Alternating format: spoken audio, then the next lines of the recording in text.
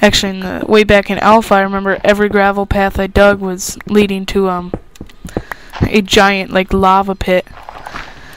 But now, if I, I'm sure if I, and usually gravel pockets and dirt pockets underground, you lead to um ores in the side of the wall or something. Because in uh, me and mom, me and mom's uh, private server, um, we always find gravel pockets and dirt pockets, and we'll sit there and dig every piece of the dirt or gravel out. And once we do that, we'll find uh, ores. And probably at this level, there would probably be diamonds or, or redstone behind it. Or just plain, you know, coal or iron. But it was a really good tip that I um, gave mom.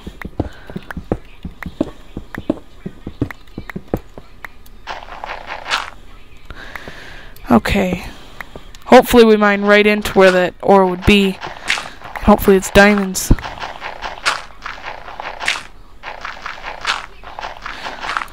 Yeah, as you can see, uh, gravel is some gravel has a 50% chance. I believe 50% chance of dropping flint.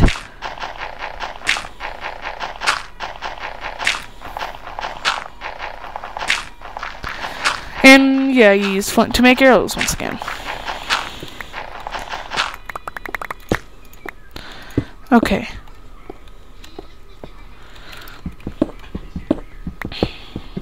I Didn't have to use any of my food yet. There's some iron. Iron. Iron. And gravel. Yep, so that gravel is probably high in this iron. Or iron. Or iron. Or irony. Whatever. Whatever. Whatever you want to call it. Whatever you want to call it. Okay, put the torches out. Now we've, as you can see, I'm really close to the ground because it's pitch black. You know, I'm sure if I dug a little bit down here, you'd start seeing specks to come up. But see, I'm not seeing specks. Yeah, right there, that's bedrock. Yeah, now you can see the specks. If you look really closely. So bedrock is the um, unbreakable rock. So we are really close to the bottom. And we are on layer 10. Yeah, there's a few layers below bedrock, but they're like falling and you can't build under bedrock.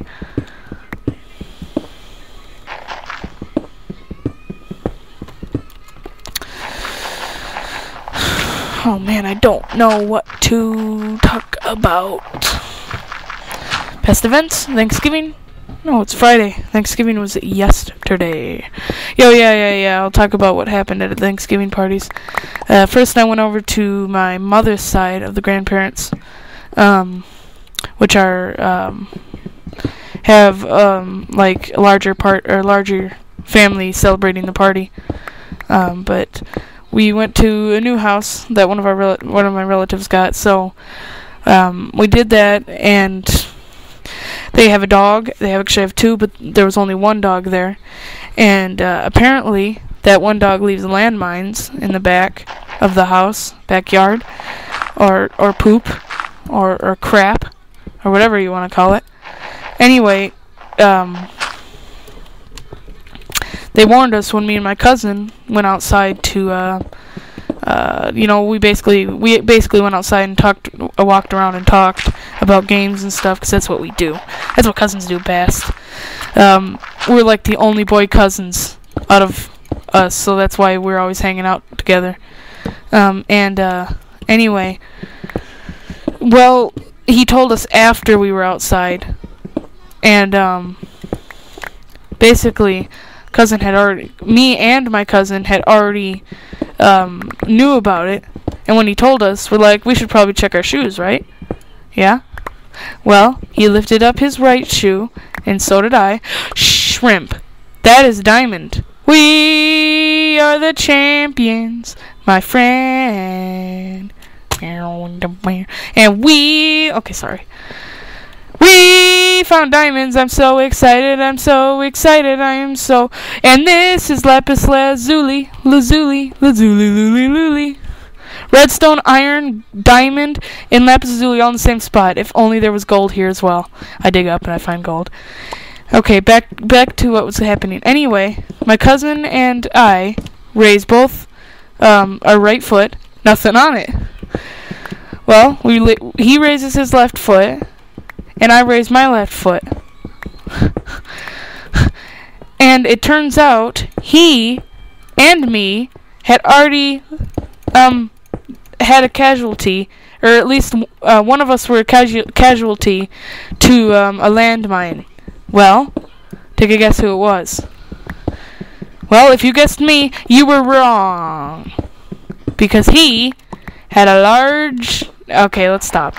Anyway, no, don't take that. With the, no, don't take that with that. Take it with the chicken.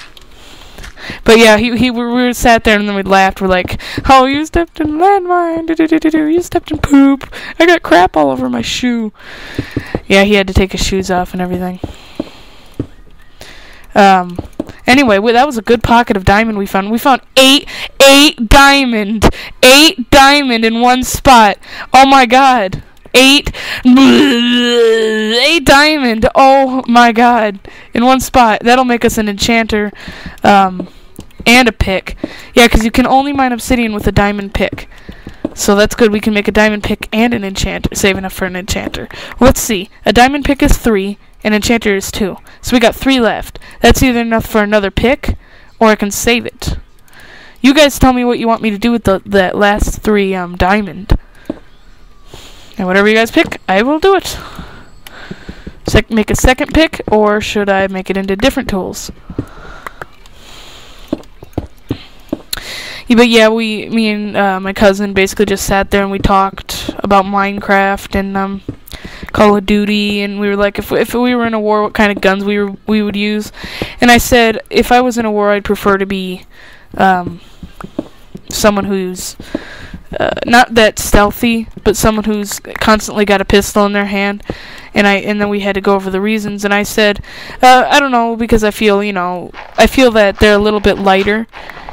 Um, on your hands, and you can dual wield. I know you can dual wield other weapons, but you can, you know, dual wield um, pistols. You know, um, in a different kind of way. And he said he would probably be a sniper or some type of rifleman. And um, I said I would like to be not. I, I would like to be someone who has a machine pistol, uh, machine like gun pistol, but not not like Uzis and uh, SMGs. I mean, um, like um, a pistol that has an attachment. It's in like Call of Duty Modern Warfare 2, I believe, or Modern Warfare. Yeah, Modern Warfare 2, and probably Modern Warfare 3. Um, that allows you to just have a regular pistol, and it's got like the extra thing on it, and then it's like a machine gun pistol.